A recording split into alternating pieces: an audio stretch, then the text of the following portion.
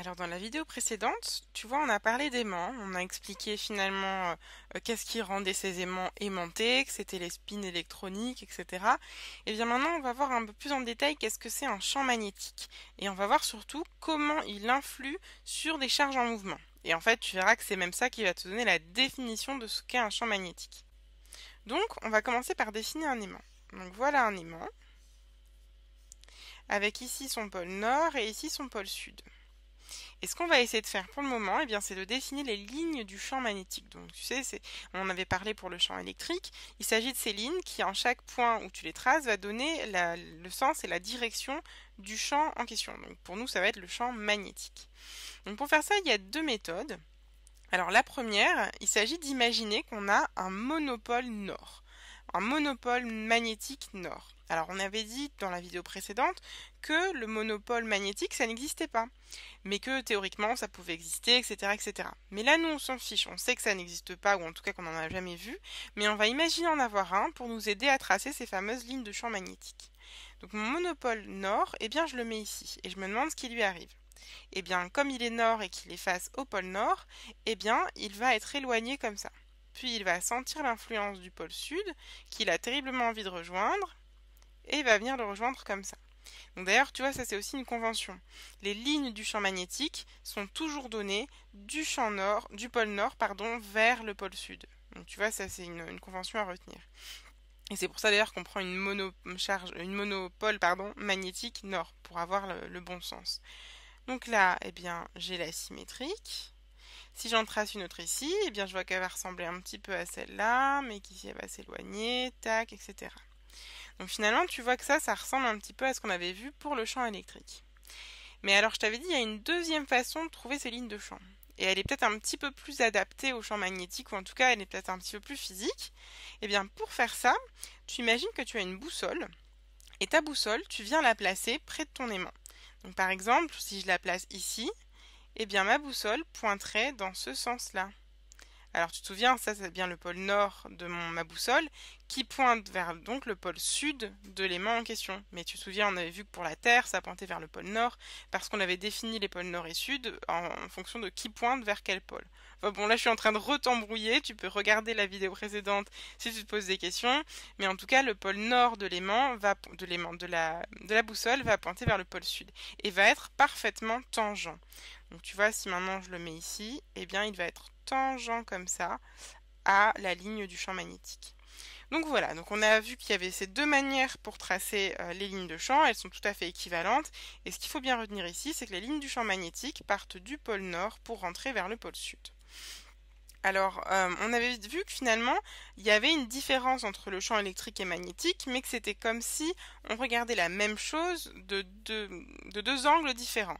Et que finalement, tu verras quand on étudiera l'électromagnétisme avec les, équations de Maxwell, etc., eh bien qu'on verra que tout ça, c'est à peu près la même chose. Mais bon, la principale différence à garder en tête, si tu te souviens bien, c'est que en ce qui concerne le magnétisme, eh bien, euh, on a toujours des dipôles. Alors qu'en ce qui concerne l'électrostatique, eh bien, on peut avoir aussi bien un dipôle ou un monopôle. Donc là, tu me dis, ok, on a dessiné les lignes de champ, on a rappelé qu'effectivement le monopôle magnétique en question n'existait pas. Euh, d'ailleurs, ça me fait penser que ces lignes de champ, tu sais, tu peux les regarder très facilement. Donc pour ça, tu mets un aimant sur une plaque de verre et tu jettes de la limaille de fer. Tu sais, c'est de la poudre d'aimant, si tu veux. Et en fait, elle va s'aligner et ça va faire des jolies lignes qui vont te donner la direction. Donc t'as pas le sens, mais tu as la direction des lignes de champ.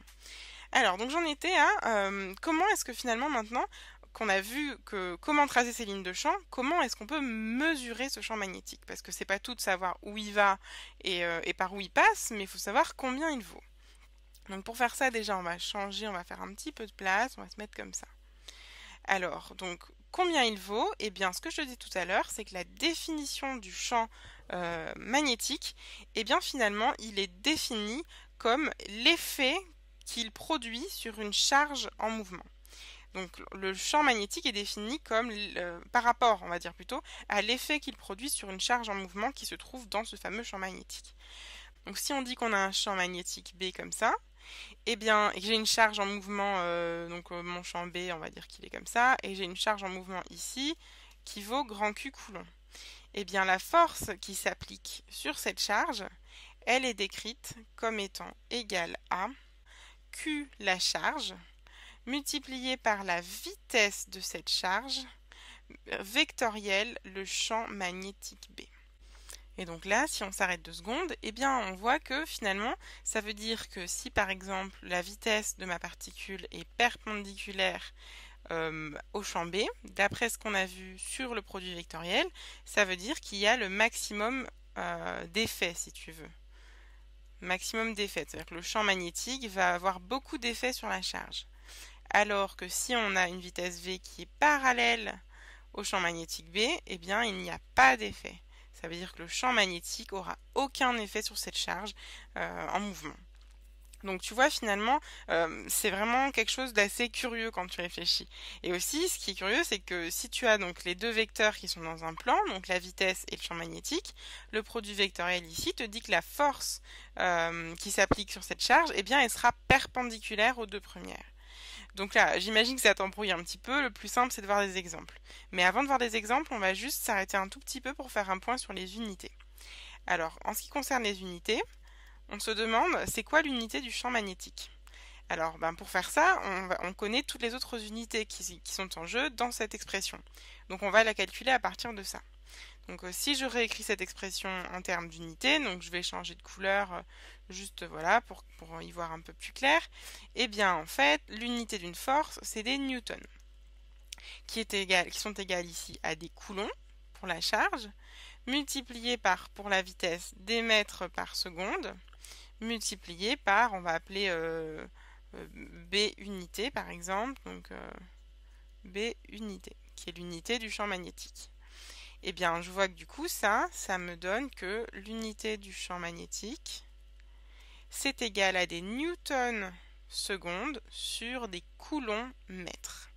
Alors, euh, tu peux le dire comme ça, dans le système international, c'est vrai, mais il se trouve qu'en fait, on a donné un nom un petit peu plus simple à cette unité, et qu'on dit tout simplement que c'est un Tesla. Alors, ça se note comme ça, et c'est Tesla en référence à Nikola Tesla,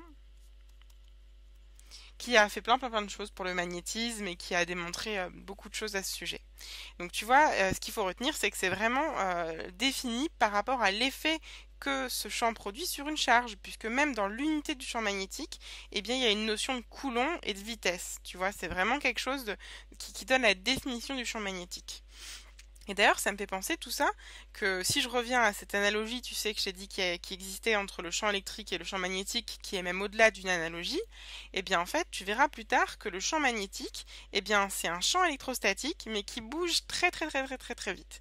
Alors bon, on rentre pas là-dedans tout de suite, et euh, je te dis à bientôt dans la prochaine vidéo, on va commencer à faire des exercices un petit peu plus concrets.